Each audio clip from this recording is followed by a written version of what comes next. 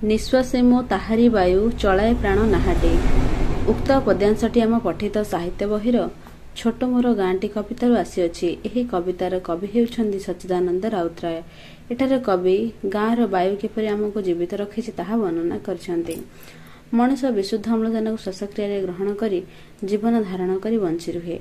କବିଙ୍କର ବାଲ୍ୟ ଜୀବନ କଟିଥିଲା ଏକ ଗାଁରେ। ସେଠାକାର ସବୁଜ ଗଛପତ୍ର ବିମଣ୍ଡିତ ପରିବେଶର ବିଶୁଦ୍ଧ ବାୟୁ ପ୍ରାଣବାୟୁକୁ ଗତିଶୀଳ କରିଥିଲା ବୋଲି କବି ବର୍ଣ୍ଣନା କରିଛନ୍ତି।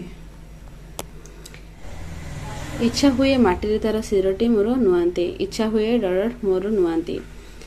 ପଦ୍ୟାଂଶଟି ପଠିତ ସାହିତ୍ୟ ବହିର ଛୋଟ ମୋର ଗାଁଟି ପଦ୍ୟରୁ ଉଦ୍ଧୃତ।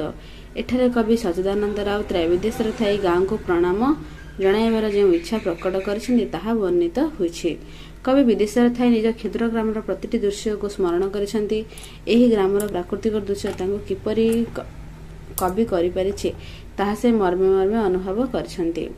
ନିଜର ଜନ୍ମମାଟିରୁ ଦୂରରେ ଅବସ୍ଥାନ କଲେ ମଧ୍ୟ ତା ପ୍ରତି ଥିବା ଅନାବିଳ ସମତ୍ୱବୋଧ କବିତାରେ ସ୍ୱତଃ ପରିପ୍ରକାଶ ଘଟିଛି। ଗାଁର ପ୍ରତିଟି ଦୃଶ୍ୟ କବିଙ୍କ ଜୀବନ ପଥର ସହାୟକ ହୋଇଛି। ତତ୍ ସଙ୍ଗେ ସଙ୍ଗେ ଏକ ନୂତନ ରାହା ଫିଟାଇଛି। ଏସବୁ ଦୃଶ୍ୟ ଛବି ପରି କବିଙ୍କର ମନରେ ଝଲସି ଉଠିଛି ଯାହା ଫଳରେ ତାର ମାଟିରେ ମଥା ନୁଆଇବାକୁ ତାଙ୍କ ଇଚ୍ଛା ଜାଗ୍ରତ ହୋଇଛି। ଭୃତ୍ୟ ଭାବ ଧରି ଗୋଡ଼ ଚାଟୁ ଚାଟୁ ବିଷ ଲେସି ଦେଇଥାଏ। ଭୃତ୍ୟ ଭାବ ଧରି ଦେଇଥାଏ। ଉଦ୍ଧୃତ ପଦ୍ୟାଂଶଟି ଆମ ପଠିତ ସାହିତ୍ୟ ବହିର ଉତ୍କଳ ସନ୍ତାନ କବିତାରୁ ଆସିଅଛି। ଏହି କବିତାର କବି ହେଉଛନ୍ତି ଉତ୍କଳ ଗୌରବ ମଧୁସୂଦନ ଦାସ। ସେ ଅଠରଶହ ଅଡ଼ଚାଳିଶ ମସିହାରେ ଜନ୍ମଗ୍ରହଣ କରିଥିଲେ ଉଣେଇଶହ ଚଉତିରିଶ ମସିହାରେ ମୃତ୍ୟୁବରଣ କରିଥିଲେ। ସେ ଜଣେ ଦେଶାତ୍ମବୋଧ କବିତାର କବି। କବି ଏଠାରେ ତୋଷାମଦକାରୀର ପ୍ରକୃତିକୁ ବର୍ଣ୍ଣନା କରିଛନ୍ତି। ତୋଷାମଦିଆର ପ୍ରକୃତି ହେଉଛି କୁକୁର ପ୍ରକୃତି। କାରଣ ତାର ମନ ସର୍ବଦା ଅଇଁଠ ପତ୍ରରେ ହିଁ ଥାଏ। ତୋଷାମଦକାରୀ ତାର ସ୍ୱାର୍ଥ ପୂରଣ ପାଇଁ କିଛି ବି କରିପାରେ। ସେ ସହଜରେ ଚିହ୍ନା ପଡ଼ିନଥାଏ। କାମ ବା ସ୍ୱାର୍ଥ ହାସଲ ହୋଇଗଲା ପରେ ଯାହାର ସେବା କରୁଥାଏ ତାହାର ହିଁ କ୍ଷତି କରିଥାଏ। ତେଣୁ କବି କହିଛନ୍ତି ଭୃତ୍ୟ ଭାବ ଧରି ଗୋଡ଼ ଚଟୁ ଚଟୁ ବିଷ ଲେସି ଦେଇଥାଏ ବିପଦ ପଡ଼ିଲେ ବାଟୋଇ ଭାଇରେ ଯାହା ସାହା ଯେ ନୁହେଁ ଆନକୁ ତାହାର ଜୀବନ ମରଣ ସମାନ ଧିକ ତାହା ଜୀବନକୁ। ବିପଦ ପଡ଼ିଲେ ଡର ତାହା ଜୀବନକୁ। ଉକ୍ତ ପଦ୍ୟାଂଶଟି ଆମ ପଠିତ ସାହିତ୍ୟ ବହିର ବାଟୋଇ ଓ ନାଉରିଆ କବିତାରୁ ଆସିଅଛି। ଏହି କବିତାର କବି ହେଉଛନ୍ତି ପଲ୍ଲୀ କବି ନନ୍ଦକିଶୋର ବଳ। ପଲ୍ଲୀ କବି ନନ୍ଦକିଶୋର ବଳ ଅଠରଶହ ପଞ୍ଚସ୍ତରୀ ଖ୍ରୀଷ୍ଟାବ୍ଦରେ କଟକ ଜିଲ୍ଲାର କୁସୁମପୁରଠାରେ ଜନ୍ମଗ୍ରହଣ ଜନ୍ମଲାଭ କରିଥିଲେ। ସେ ଜଣେ ଶିକ୍ଷକ ଶିକ୍ଷାବିତ୍ ଓ କବି। କବି ଏଠାରେ ମଣିଷ ଜୀବନରେ ଅନ୍ୟକୁ ସାହାଯ୍ୟ ନ କରେ ତାହାର ଜୀବନ ଧିକ୍ ବୋଲି କହିଛନ୍ତି। ବାଟୋଇ ନଈ ପାର ହେବା ପାଇଁ ନାଉରିଆକୁ ସାହାଯ୍ୟ ମାଗିଛି କିନ୍ତୁ ନାଉରିଆ ମନା କରିଦେଇଛି। କିନ୍ତୁ ଯେତେବେଳେ ନାଉରିଆ ଜାଣିଲା ବାଟୋଇର ପୁଅର ଦେହ ଖରାପ ଅଛି ସେତେବେଳେ ସେ ବାଟୋଇକୁ କହିଲା ବିପଦ ସମୟରେ ଯେ ଅନ୍ୟକୁ ସାହାଯ୍ୟ ନ କରେ ତାହାର ଜୀବନ ମରଣ ସମାନ ଅଟେ ଏବଂ ତାହାର ଜୀବନ ଧିକ୍ ଅଟେ। କାରଣ ତାହାର ଜୀବନ ଅନ୍ୟର କାମରେ ଆସିଲା ନାହିଁ। ବା ଜୀବନ ସାର୍ଥକ ହେଲା ନାହିଁ। ଏହା କହି ନାଉରିଆ ବାଟୋଇକୁ ସାହାଯ୍ୟ କରିଛି। ଦୀର୍ଘ ପ୍ରଶ୍ନର ଉତ୍ତର। ପରିବେଶ ସୁରକ୍ଷା ନହେଲେ ମଣିଷ ଜାତିର କି କି କ୍ଷତି ହେବ? ପରିବେଶ ସୁରକ୍ଷା ପାଠର ଲେଖକ ହେଉଛନ୍ତି ରାମକୃଷ୍ଣ ନନ୍ଦ। ସେ ଉଣେଇଶହ ଛଅ ମସିହାରେ ଜନ୍ମଗ୍ରହଣ କରିଥିଲେ। ଉଣେଇଶ ଏବଂ ଉଣେଇଶହ ଚଉରାନବେ ମସିହାରେ ପ୍ରାଣତ୍ୟାଗ କରିଥିଲେ। ସେ ଜଣେ ବିଶିଷ୍ଟ ଶିଶୁ ସାହିତ୍ୟକ ଥିଲେ। ଆହେ ଦୟାମୟ ବିଶ୍ୱବିହାରୀ ପାଇଁ ସେ ସାରା ଓଡ଼ିଶାରେ ପ୍ରସିଦ୍ଧ। ପରିବେଶ ସୁରକ୍ଷା ପ୍ରବନ୍ଧଟି ତାଙ୍କର ଭାବି ଦେଖନ୍ତୁ ପୁସ୍ତକରୁ ଗୃହୀତ। ଏଠାରେ ଲେଖକ ଲେଖକ ପରିବେଶର ସୁରକ୍ଷା ନହେଲେ ମଣିଷ ଜାତିର କି କି କ୍ଷତି ହେବ ବର୍ଣ୍ଣନା କରିଛନ୍ତି। ମନୁଷ୍ୟ ଯେଉଁ ପରିମାଣରେ ପ୍ରକୃତିକୁ ଧ୍ୱଂସ କରୁଛି ସେହି ପରିମାଣରେ ତାର ଭରଣା ହୋଇପାରୁନାହିଁ ଯାହା ଫଳରେ ବିଷମ ପରିସ୍ଥିତି ସୃଷ୍ଟି ହେଉଛି। କଳକାରଖାନାର ଧୂଆଁ ଓ ଦୂଷିତ ଜଳ ଏବଂ ରତ୍ନଗର୍ଭା ଧରଣୀକୁ ନରକରେ ପରିଣତ କରିବାରେ ଲାଗିଛି। ଅରଣ୍ୟର ପ୍ରାଣୀମାନେ ଖାଦ୍ୟ ଓ ବାସସ୍ଥାନ ନ ପାଇ ବିପନ୍ନ ଅବସ୍ଥାରେ ଅଛନ୍ତି ଏବଂ ଆଉ କେତେକ ପ୍ରାଣୀ ଧରାପୃଷ୍ଠରୁ ନିଶ୍ଚିନ୍ନ ହୋଇଗଲେଣି।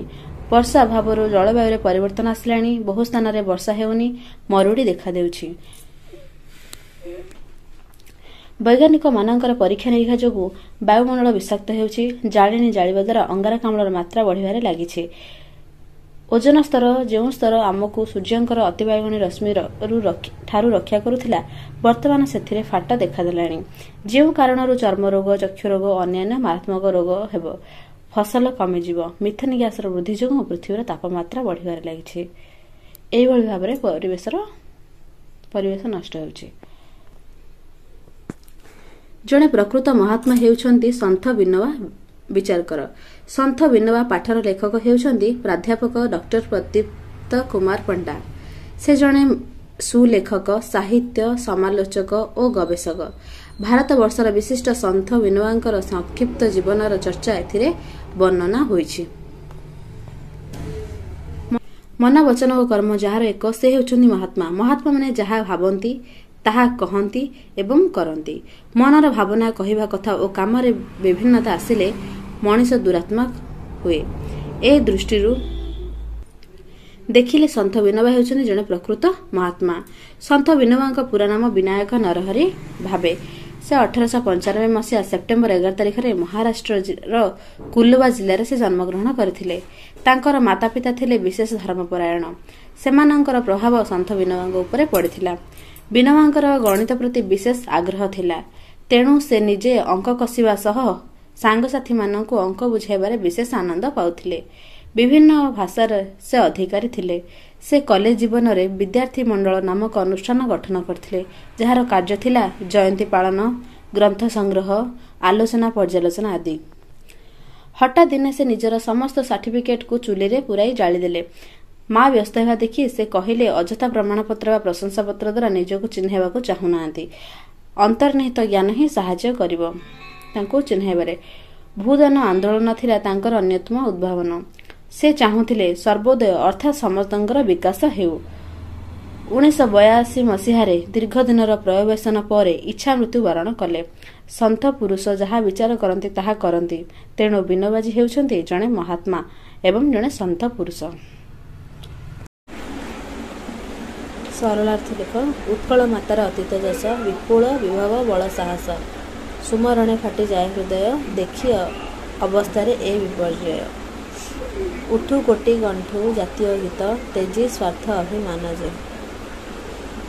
ଦୀର୍ଘ ପ୍ରଶ୍ନ ଉତ୍ତର ଦୀର୍ଘ ଉତ୍ତରମୂଳକ ପ୍ରଶ୍ନ ଉତ୍ତର ରାମାୟଣର ସାରମର୍ମ ନିଜ ଭାଷାରେ ଲେଖ ଭରତଙ୍କ ଚରିତ୍ରକୁ ବିଚାର କର। ଏହି ପ୍ରଶ୍ନ ଗୁଡ଼ିକର ଉତ୍ତର ପାଠର ପ୍ରଶ୍ନ ଉତ୍ତରରେ ଅଛି। ତାହା ଦେଖି ଲେଖିଦିଅ